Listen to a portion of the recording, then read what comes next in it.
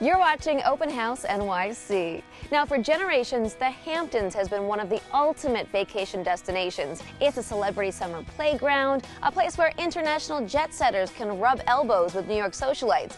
And it also happens to be a perfect vacation destination for families.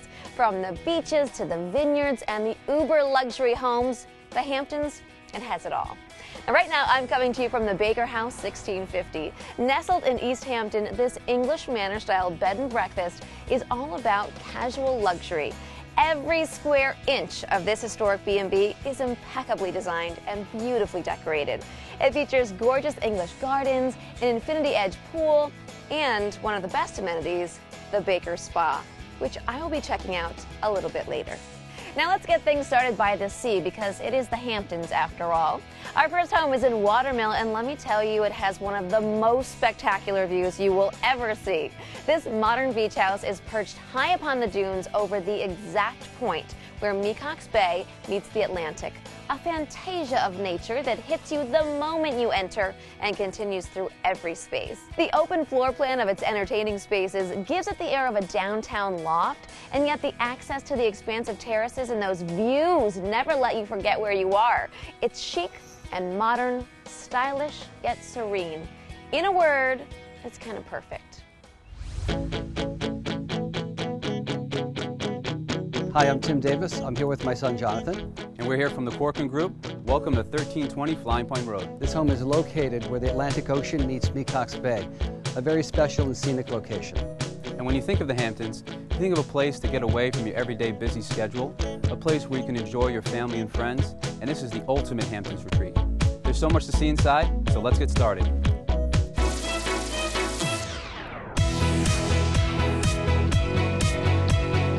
This home is all about the open floor plan and water views, and this is exactly what greets you when you walk in the front door.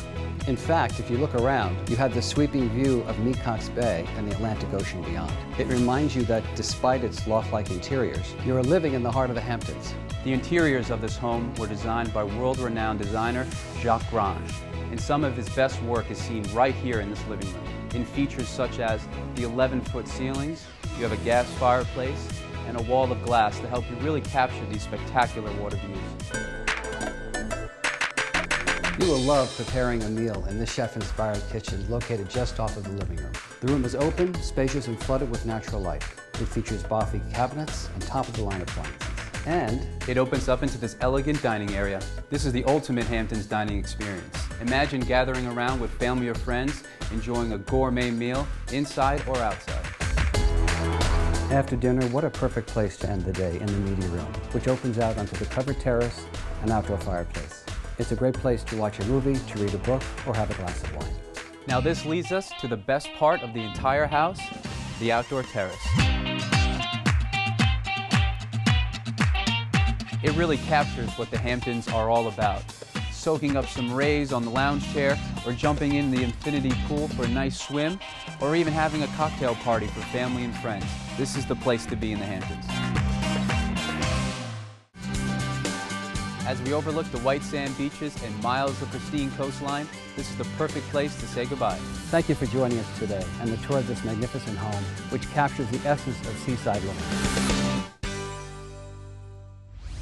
Now that's how you do seaside living. I could definitely wake up to those views every morning. All right, well, coming up, see if Brooklyn-based design duos take on the Hamptons. And later, I'm meeting up with author and philanthropist Annie Falk. She's getting ready to host a lunch and share some inspiring tips for your next party.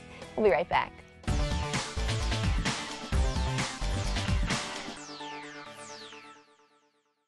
This episode of Open House is brought to you in part by the Baker House 1650. Nestled in the beautiful historic village of East Hampton, this exclusive bed and breakfast is the perfect destination for your next vacation, romantic getaway, or special event. Relax amidst the impeccable English gardens or enjoy a treatment at the Baker Spa. Make the Baker House 1650 your home away from home. To book your visit, head to bakerhouse1650.com.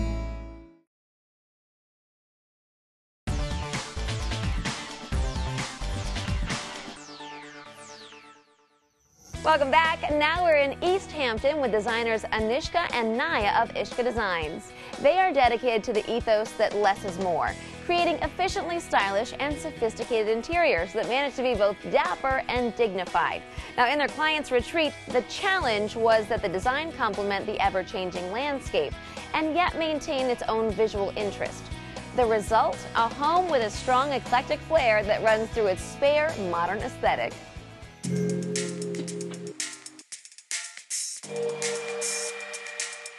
Hi, I'm Naya Bascom. And I'm Anishka Clark. We're the owners of Ishka Designs, a Brooklyn-based design firm. Today we're going to show you around the latest example of our design aesthetic, our client's beautiful home in the Hamptons. So, let's get started.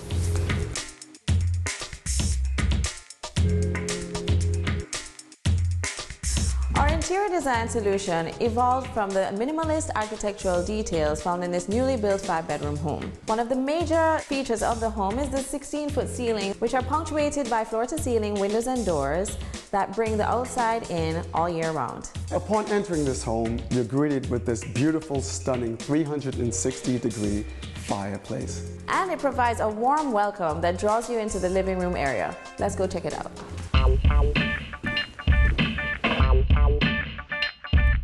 For the living room, we went for elegant yet inviting as it is the most formal space in the home. To not compete with the ever-changing landscape, we chose a very neutral palette to accentuate the white oak floors found throughout the home. We custom designed a white oak coffee table that's flanked by a Parisian vintage lounge chair and two wire-framed ottomans that counterbalance the streamlined look of the space.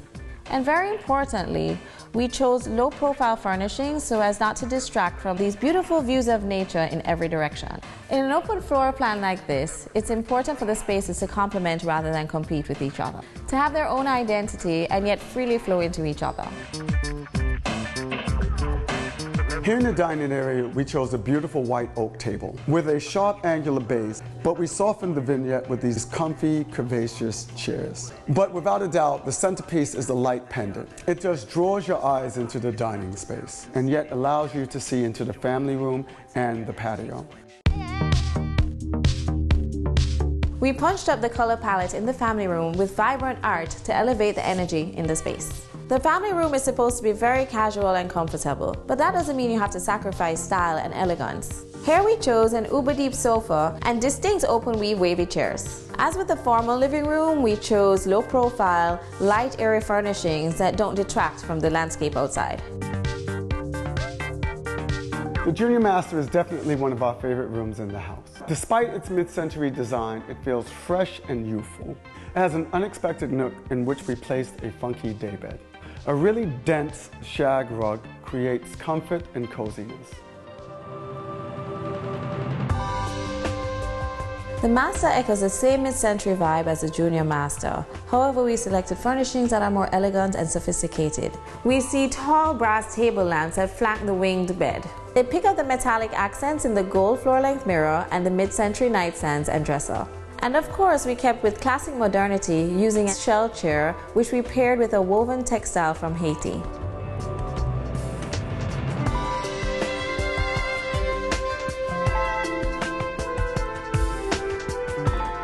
We've enjoyed sharing this home with you in the Hamptons. And we hope you've seen how minimalist design can create efficiently beautiful interiors that are as comfortable as they are stylish. Thank you. Cheers.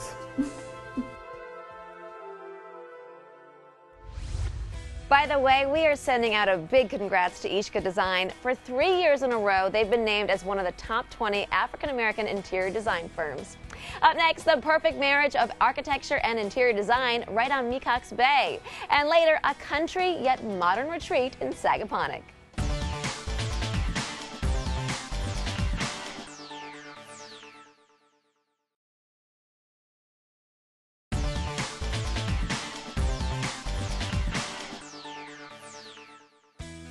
Welcome back. Now we've headed inside the Baker House 1650 to cozy up by the fire, but we're taking you back to Watermill to tour an enchanting estate overlooking bucolic farm fields with the bay and the ocean immediately beyond. This luxurious and graceful home has everything. Vast, airy, entertaining spaces, quiet, stylish nooks, sun-drenched terraces, shaded patios, and enough bedroom suites to accommodate the largest of families. There's even a roof deck with truly sublime views. This 12,000 square foot home manages to be both opulent and tranquil at the same time. Good morning. I'm Gary DePersia with the Corcoran Group. Welcome to Mecox Farm. You're about to take a journey through a 12,000 square foot estate on three acres overlooking Mecox Bay. It epitomizes what the Hamptons lifestyle is all about. We have a lot of ground to cover. Let's go in and take a look. And it begins here in the double height entryway with lacquered walls, inlaid stone floors, Soanian ceiling, and an oculus bringing in light. It's a wonderful combination of architecture and design.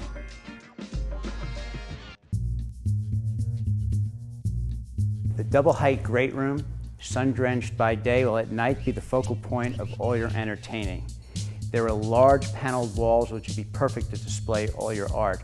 And above that are plastered, hand painted walls. You'll feel like you're in an ancient ruin.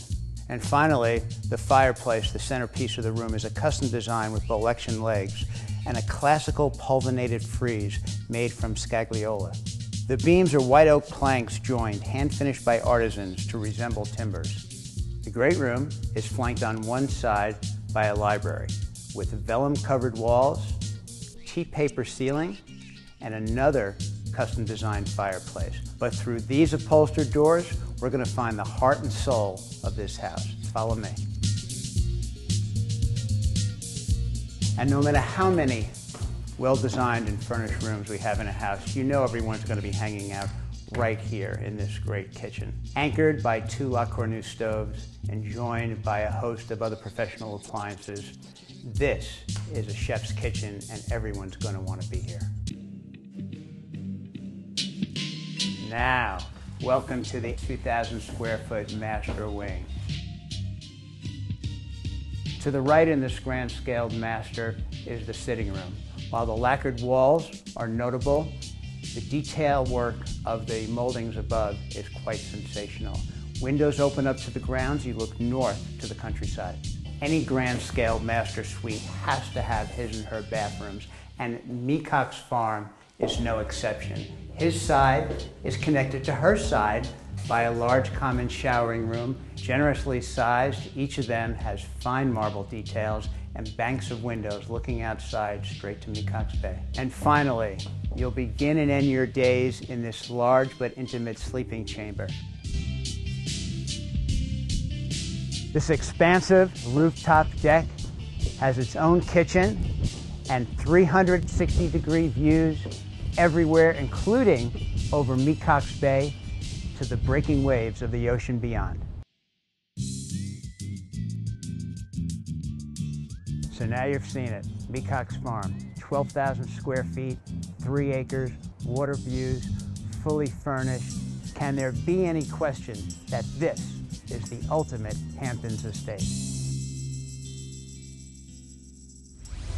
Manicured lawns leading to multi-million dollar mansions. Now that's part of what living large in the Hamptons is all about, right?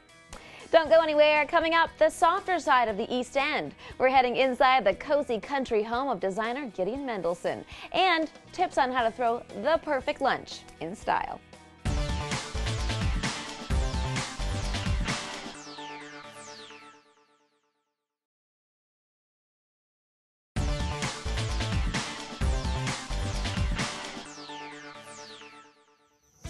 You're watching Open House NYC as we take you on a tour of some of the best the Hamptons has to offer.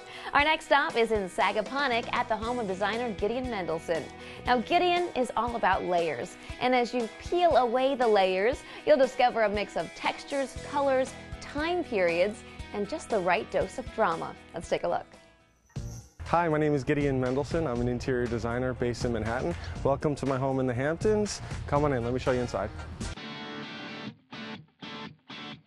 We enter the house in the foyer here, which is an interesting space. It had some architectural challenges. You can see there, there really isn't any place to, to end wallpaper or paint. There's no crown molding. The ceiling has some interesting angles to it. So what we did instead was wallpaper the entire space, and that made the room feel really warm. So we're in the living room. This is a place that friends and family come really to hang out and spend time together. Flanking the fireplace are these two sofas that I designed. Sort of in a 50s feel, but the nubby linen really gives it a casual Hamptons vibe. Another thing to mention in the living room is the paint color. It's sort of a very pale blue, which really doesn't connect to anything in the room. There's no blue fabric or a blue accessory in the room that it's talking to. It's really connecting us to the outside. Everybody says the kitchen is the heart of the home, and I have to agree. It's the most important room in the house. To keep things visually interesting, what we did is we painted the cabinets of the island a gray color, and we took some tools and we actually like scraped the island, we banged it up, and we gave it a little bit of an industrial vibe. Instead of a traditional white ceramic tile, we chose a glazed brick for the backsplash and the walls of the kitchen. Instead of a white grout, we did a dark grout, which I think gives it some graphic punch. This is where I start and end my day, the master bedroom. This is another really large room in the house, so the first thing I wanted to do was ground it with a large four-poster bed. The chaise in the corner is a piece that I designed, and I upholstered it in a stripe horizontally. And that became actually a theme in the room. You can see it on the chaise, on the drapes. You can also see it in the office, which is off of the master bedroom. If you're looking for a really relaxing and calm master bedroom, don't forget to layer lots of texture but subtle pattern. It'll keep things really interesting, but also really calm. Don't be afraid to curate a really interesting collection of pieces for your home and surround yourself with things that you really love. Thanks for visiting me at my home in Sagaponack. We're not done yet. Up next, it's lunch. Hampton style. We're getting tips on the art of entertaining. You stay right there. I'm heading to the beach.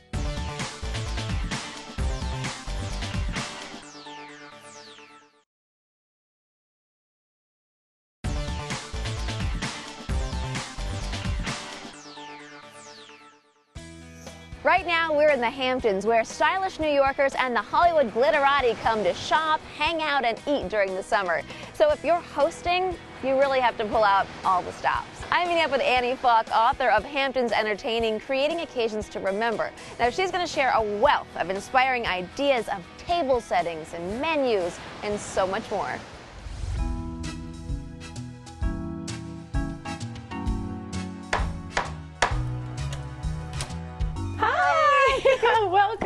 Welcome, welcome. Please oh, come on in. Absolutely. Well, Annie, I think we all know that the Hamptons is all about entertaining, and you couldn't ask for a better setting to dine al fresco. But I think in order to survive the Hamptons, you have to know how to throw a lunch. And it really comes down to three things it's fantastic food, and it's a fun welcome drink, and of course, a beautiful table setting. And to tie it all together, you have to pick a theme. Yes, and in this case, I was very inspired by all of the produce that's available locally from the farmer's market, from my own backyard. So today we're doing a ladies' locavore lunch. we should get started. that's a good idea. Well, as soon as the weather starts warming up, my absolute favorite thing is lobster salad. So I'm so glad we're doing this today. I am too. And I love this salad because everything's local the corn and the fresh lobster. So if you want to grab some spoons yeah. and help me, we can get this all ready.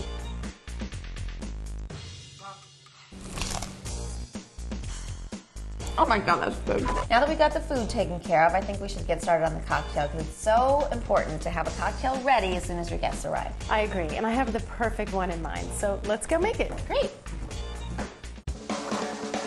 So we are going to start with the lemonade. Next we have the pomegranate liqueur. Okay.